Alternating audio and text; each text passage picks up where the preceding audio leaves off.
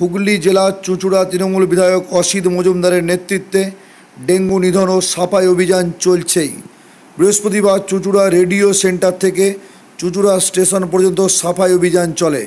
Corona মহামারীর সাথে ডেঙ্গুর প্রকোপ যাতে না বাড়ে, সেই উদ্দেশ্যে এদিন চুঁচুড়ায় সাফাই অভিযান চালানো হয়।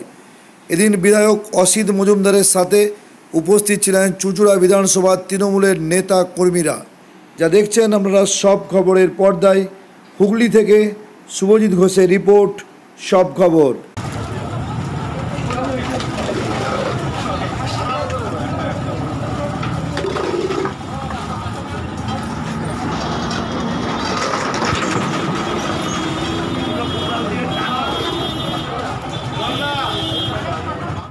মুখ্যমন্ত্রী মমতা বন্দ্যোপাধ্যায় এবং বাংলার গৃহমন্ত্রী ফিরাদ হাকিম। আপনারা জানেন যে সেই মার্চ মাস থেকে টানা করোনা আবহাওয়া চলছে। তার মধ্যে এই বর্ষাকালে ডেঙ্গুর প্রকোপ বাড়ছে। তাই মাননীয় মুখ্যমন্ত্রী মমতা বন্দ্যোপাধ্যায় এবং পৌরমন্ত্রী ফিরাদ হাকিম এই সময়ে ডেঙ্গুর কবলে যাতে মানুষ না আক্রান্ত হয় তার জন্যে আমার পৌরসভা পঞ্চায়েত, আমার বিধানসভায় সাতটা পঞ্চায়েত এবং পৌরসভা। আমরা ডেঙ্গু বিজয় অভিযান নেমেছি।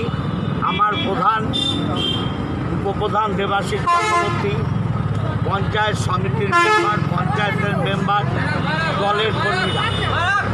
আজ আমরা কোলালিয়ায় এক খুচরো স্টেশন রোডে আমরা ট্রেন জঙ্গল, যাতে মশা জমে, সেগুলোকে ক্লিয়ার করছি। পঞ্চায়েতের ক্ষমতা খুব কম, জানেন? যার জন্যে আমরা আমাদের দলের সমস্ত মেম্বার সমস্ত কর্মী, আমরা রাস্তায় নেমেছি। মানুষের বিপদে একমাত্র তৃণমূলই থাকে।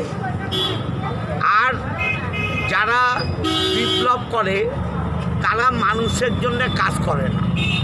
আমরা মানুষের পাশে আছি। করোনা থেকে, খাদ্যদ্রব্য দেওয়া থেকে, ডেঙ্গু পর্যন্ত মানুষের সাথে থাকব। কারণ এই সরকারটার নাম মামাটি মানুষের সরকার, বাংলার মুখ্যমন্ত্রী মমতা বন্দ্যোপাধ্যায়।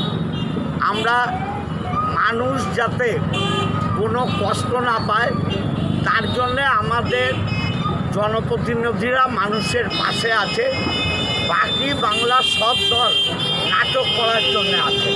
আমরা নাটক করি না, মানুষের জন্য কাজ করি। আমি কোদালিয়া এক এবং সারা চুচুড়া বিধানসভার মানুষের আশীর্বাদ চাই। আপনারা আশীর্বাদ করুন। আমরা যাতে মানুষের জন্য কাজ করতে পারি, আপনাদের পাশে যাতে থাকতে পারি।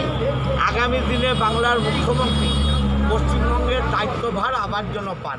সবাই ভালো থাকবেন।